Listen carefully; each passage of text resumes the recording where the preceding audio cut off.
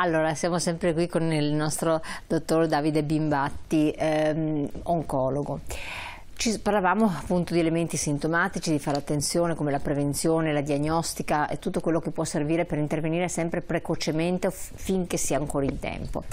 C'è un messaggio che è arrivato. Quanto incide un eventuale HPV per la formazione di un tumore e come si curerebbe un HPV? Grazie per l'attenzione. Ecco quello che l'avevo chiesto un po'. Interessa penso molto anche sotto quelle che sono persone più giovani. Magari. Assolutamente sì, assolutamente sì. Allora, eh, l'HPV incide parecchio per la formazione del tumore, anche se poi bisogna fare dei distinguo, ci sono alcuni HPV che eh, non sono fattori di rischio per il tumore e altri HPV che invece sono... Ah, ce ne sono eh, diversi. Ce ne sono diversi, ce ne sono diversi, alcuni più a rischio, altri un po' meno eh, è ovvio che bisogna fare A una diagnosi, eh, B eh, un controllo e in secondo luogo si può eh, curare l'HPV. Al giorno d'oggi però le due cose che sono fondamentali è eh, controllare, controllarsi eh, seguendo lo screening e quindi effettuando dei pap test regolarmente da un lato, proprio per arrivare a una diagnosi che sia precocissima e quindi a, una, a, una, a un tumore che sia semplicemente molto superficiale e completamente curabile.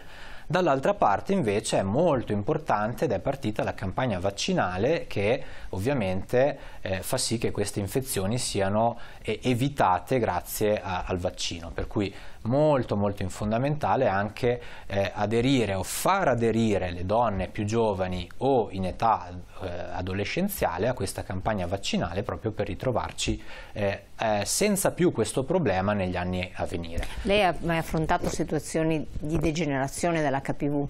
Eh, può capitare, non è eh, l'organo eh, obiettivo delle, della nostra eh, cura eh, in oncologia 1, però sicuramente eh, possono svilupparsi tumori della cervice e dell'utero, eh, soprattutto anche avanzati, sono molto poco frequenti proprio perché l'attenzione delle donne per fortuna è molto alta e negli anni è stata sempre molto più alta, quindi di solito sono persone magari più anziane che smettono di fare controlli o che non li hanno mai fatti, sono tumori purtroppo che possono avere eh, un alto tasso anche di mortalità se diagnosticati in fase tardiva. Però devo dire che ormai per fortuna fortuna sono rarità proprio dovute all'attenzione che c'è eh, su questa problematica e alla capacità delle donne molto più degli uomini di eh, sapersi controllare eh, continuamente dai propri ginecologi. Infatti si sente molto spesso ovviamente che la donna ha il proprio ginecologo mentre l'uomo spesso non ha il proprio urologo come di se fosse l'amico di famiglia e, e, questo però ha fatto sì che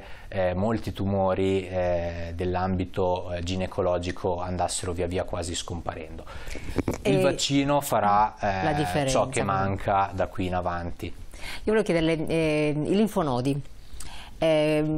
Possono essere linfonodi ingrossati sintomo di qualcosa che non va, che c'è un tumore in atto, allora, come dall'altra parte c'è il PSA no, per gli uomini. Assolutamente, eh, purtroppo molti di tutti questi tumori sono interni e i primi linfonodi che si vanno a ingrossare sono all'interno del bacino e sono inarrivabili sia ah, a una visita sia quindi a non è il linfonodo che uno può immaginare sull'inguine bravissima eh. a differenza magari dei linfonodi ascellari per il tumore mm. al seno eh, non sono quelli dell'inguine i primi mm. a, a ingrossarsi, per cui anzi quelli dell'inguine drenando tutto l'arto inferiore spesso sono ingrossati o, o sono rimasti grossi dopo eh, infezioni dell'infanzia o dell'adolescenza, mm. per cui non sono per niente d'aiuto nella diagnosi di, di questi tumori e non si ingrossano come primo specchietto d'allarme. Ecco. Il discorso del PSA, per chiarirlo, l'aveva accennato prima, ma se eh, PS, è segnalato che c'è il PSA, questo non necessariamente vuol dire che c'è un tumore, come a volte eh, c'è un tumore ma il PSA non, è, non segnala. Esattamente, esattamente. Il PSA, ahimè, non è al momento eh, un esame che eh, sia incluso in uno screening completo, questo proprio perché ci sono casi, come eh, diceva, di eh, tumori senza PSA e tanti casi di non tumore nonostante un PSA elevato. Ovviamente la prostatite l'ipertrofia prostatica, che sono condizioni non tumorali, sono la prima causa di rialzo del PSA. per questo che eh, sì è possibile discutere col proprio medico di base di effettuare esami cadenzati una volta all'anno del PSA, il cui eh, risultato però andrebbe eh, molto spesso o sempre analizzato con un punto critico o insieme a una visita della prostata ed qui di nuovo eh, il ruolo dell'urologo è fondamentale nel aggiungere informazioni a quelle che il PSA da solo a volte eh, non riesce a darci completamente. Per cui per avere completo, ehm, un completo, quadro della prostata è utile anche una visita quindi è utile che il PSA, specie se elevato, sia eh, considerato insieme a un urologo professionista. Ecco, lei fa parte di oncologia, un altro messaggio, dopo le faccio la domanda. Gli integratori come la Serenoa aiutano la vescica eh, e sono antitumorali, eh, quali si dovrebbero prendere? Allora, ci sono sicuramente tanti integratori, la Serenoa, ma anche gli estratti di mirtillo eh, che eh, si dice purifichino le vie eh, uroteliali, questo è sicuramente vero che le vie urinarie si giovano di questi integratori, possono essere presi. Uomo e donna, eh, quindi, eh, sì, se no sì. l'uomo forse... Assolutamente eh, sia uomo ma anche ah, donna, sì. Eh, soprattutto per gli estratti di mirtillo. Ehm, diciamo però che non hanno un impatto sulla prevenzione dei tumori, per no. cui l'unica eh, cosa da fare è evitare di fumare per le vie urinarie, eh, questi integratori possono facilitare ad evitare infezioni, ad evitare altri problemi delle vie urinarie, ma non hanno nulla a che vedere con la prevenzione del tumore. Dall'altra parte De, mi raccomando anche attenzione a ciò che si assume perché tutti gli integratori hanno o possono essere sostanze che vengono metabolizzate dal nostro organismo, quindi non è detto che siano scevre di eh, pericoli e non è anche detto che poi non si vadano a accumulare nella vescica tossine eh, piuttosto che non prodotti buoni. Per cui attenzione anche a quali integratori si vanno a assumere, non sempre sono eh, positivi per il nostro organismo. In ogni caso che assume tisane, integratori vari, deve comunicarlo al medico, che è un'altra cosa che tante volte mm, così allora, diciamo che fa. ci sono cose commercializzate che sono sicure, altre invece che possono essere eh, un, un, pochino più a rischio e poi ci sono eh, cose fai da te o che si trovano spesso in internet eh, o se si assumono dosaggi più alti del consigliato che allora lì andrebbe consultato o almeno eh, richiesto il parere del, del, proprio medico. Volevo sapere ancora un messaggio, no, non riesco a fare la mia domanda.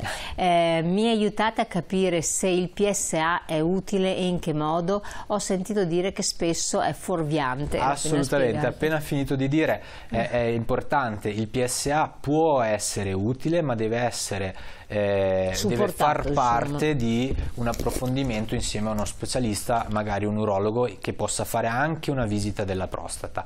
Può essere fuorviante, questo assolutamente sì, purtroppo PSA di poco elevati sono più spesso dati da patologie infiammatorie o benigne come l'ipertrofia e un PSA elevato può portare al, a una serie di indagini strumentali, risonanza e eh, riscontro di piccoli noduli, magari non tumorali, ma eh, per i quali serve tutta una serie di indagini, a volte anche invasive, che poi portano a un nulla di fatto. È vero, è un percorso che può essere iniziato da un PSA fatto magari eh, in assoluto benessere, ma per quei pochi casi in cui il percorso è difficile, non porta a niente, ci sono anche quei casi in cui il percorso porta a una diagnosi precoce. L'unica cosa, ripeto, è eh, parlarne e mettere insieme i dati con altre informazioni ecografiche, di visita o di risonanza insieme a un urologo. Percorso terapeutico che, fate, che voi oncologi seguite, quindi entriamo nello specifico anche oncologia 1 di cui lei si occupa allo IOV. Qual è? E poi c'è una presa in carico del paziente? Assolutamente sì, in questo momento per fortuna eh, allo IOV c'è un team multidisciplinare che oltre che di prostata con la prostate unit si occupa anche... Ah, c'è di... la prostate unit. C'è la prostate unit assolutamente che è quindi è un, un, team che si occupa esclusivamente di prostata ma poi abbiamo eh, un, un uh, gruppo multidisciplinare parallelo che si occupa di tumori delle vie urinarie e del rene quindi eh, condividiamo la presa in carico, la fase diagnostica e soprattutto la fase terapeutica del paziente e questo è molto importante perché per fortuna soprattutto per i tumori uroteliali della vescica noi oncologi interveniamo fin dalla diagnosi eh, con dei trattamenti chemioterapici perioperatori, quindi fatti o prima o dopo l'intervento, che possono aumentare eh, il tasso di guarigione di questi tumori quando diagnosticati in fase precoce. Questo è molto importante. Assolutamente, c'è quindi, noi sappiamo che lo IOV c'è la ricerca, eh, quindi ci sono percorsi terapeutici innovativi, eh, farmaci, lei ha accennato alla chemioterapia che rispetto a qualche anno fa eh, si sono evoluti e anche hanno meno effetti collaterali nel loro, nella loro somministrazione, dottore? Assolutamente sì. Sia per il tumore renale da 4-5 anni ci sono dei trattamenti di combinazione molto più efficaci dei precedenti, sia per il tumore della vescica avremo a breve dei trattamenti innovativi eh, molto molto efficaci. Ah, a breve, eh, quindi siamo in attesa. Siamo che... ancora in attesa, noi li abbiamo avuti allo IOF per fortuna eh, come trattamenti sperimentali, eh, la sperimentazione si è conclusa, era ovviamente internazionale ed è andata a buon fine, adesso dovremo averli anche disponibili non solo noi ma in tutte le oncologie. Ci vorrà un pochino di tempo prima che ovviamente le, eh, siano disponibili a tutti, però sicuramente stanno apportando grandi benefici sia nel trattamento della malattia avanzata della vescica, che è una malattia ancora molto ostica da poter trattare, ma che potranno nei prossimi anni, e qui ancora siamo in attesa dei risultati, eh, dare un aumento dei tassi di guarigione quando la malattia è limitata alla vescica, sempre insieme alla chirurgia, ma chissà in un futuro potremmo anche pensare o l'obiettivo è quello mm. di avere trattamenti tali da poter lasciare la vescica lì dov'è eh, e non arrivare all'intervento. Si parla ovviamente di un futuro un pochino più in là, ma l'obiettivo di tutte queste sperimentazioni, di tutto l'impegno è quello di arrivare ad evitare un intervento tanto demolitivo eh, come può essere quello di, di, cistectomia, quindi di togliere la vescica. Perché questi interventi in caso di carcinoma esistono, si praticano e, devono, e sono quelli che sono, salvano la vita? Assolutamente sì togliere la vescica per un tumore limitato alla vescica al momento è l'unico cardine della guarigione. La chemioterapia aumenta la possibilità di non avere delle recidive, quindi aumenta il tasso di guarigione, ma deve essere fatta una chirurgia e la chirurgia purtroppo vuol dire togliere la vescica, eh, arrivare all'urostomia, quindi avere il sacchetto per le urine o al giorno d'oggi per molti più pazienti grazie alla robotica ma anche a molte tecniche chirurgiche eh, si può eh, creare una neovescica che però eh, sicuramente evita il sacchettino ma non è scevra eh, di problemi o di complicanze. E questo è un intervento ancora ahimè che spaventa molto, eh, lascia una cicatrice non solo fisica ma anche mentale perché ovviamente eh, è, è, difficile come percorso da affrontare, può salvare la vita chiaramente, ma il prezzo è ancora un pochino alto e quello che si cerca di fare per il futuro appunto è di evitare in chi possibile, grazie al miglioramento sì. di tutto il percorso e di tutti i trattamenti, questo intervento eh, molto molto brutto. Impattante, assolutamente. Allora, interrompiamo un attimo perché abbiamo il break pubblicitario, qualche secondo, sempre se restate sul 19. Parleremo anche appunto di cosa vuol dire la chemioterapia sostanzialmente, perché poi è una parola, però dietro questa parola ci sta tutto sostanzialmente, un mondo. E poi i fattori recidivanti, quindi quando si può ripresentare questa eh, questo problema, in che ambito, in che range anche di, di anni, di età, quindi l'aspettativa di vita, che è quello che poi a moltissimi pazienti interessa. Tra poco restate con noi.